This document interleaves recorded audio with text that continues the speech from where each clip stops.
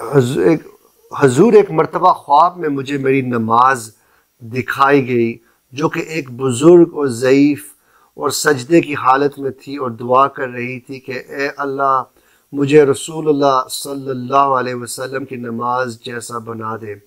हजूर, मेरा सवाल ये है कि हम अपनी इबादत और गुनाहों के वजूद को किस तरह देख सकते हैं? सईद अंजम साहब फ्रॉम पाकिस्तान। आपको क्या देखने की ज़रूरत है? आपको, आप अपने नमाज़ रोज़े को क्यों देखना है? ये बात यह है कि आप नबी अलैहिस्सलाम को जो हर चीज़ अल्लाह पाक ने दिखाई, उन्होंने सूल बता दिया भाई नमाज़ खूबसूरत किस तरह होती है? भाई उसमें हजूरी होती है कि अल्लाह की तरफ़ ध्यान होता है। उसके बाद जो है अभी नमाज़ के फ़राइज बता दिए भाई ये तेरह फ़राइज हैं। ये उनमें से भी कुछ, यानी शर्तें हैं, कुछ मतलब ये अरकान है। फिर जी, ये पंद्रह फ़िका हनफी के मुताबिक वाजिबात हैं। जी, इक्कीस सुनते हैं, मुस्तहब हैं। सजदे में ये पढ़ना है, रुकू में ये पढ़ना है।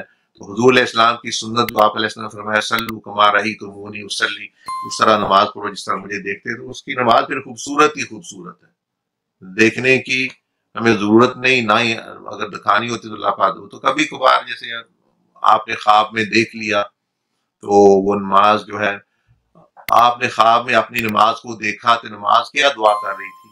कि भाई नबी अलैहिस्सलाम की नमाज़ की तरह। तो गोया वो ख्वाब में भी आपको ये मैसेज दिया गया कि हजूर अलैहिस्सलाम की नमाज़ की तरह नमाज़ पढ़ो।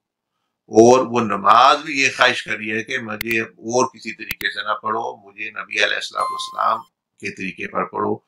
क्योंकि आप ही उस हसना है, वो मॉडल है। वो नमूना है अल्लाह की यानी कामिल अब्द का। तो जिस तरह आपने पढ़ी, वही कामिल जो है, वो चीज़ है। तो हमें वो ज़रूरत नहीं है देखने की, बल्कि हमें वो फिका को देखने की ज़रूरत है। नमाज़ को रूहानी तौर पर देखने की ज़रूरत नहीं है। ये फिकी मसाइल को देखें, हदीस को देखें कि नबी ने कैसे पढ़ी, और हजूरी के साथ पढ़ें। हमारे तरीका मोहम्मदिया में भी दस दर्जे, ज़ाहरी दस दर्जे बातनी फिर रूहानी तवज्जो की नमाज़ भी सिखाई जाती है, वो भी बंदा सीख ले। तो इनशाला खैर ही खैर।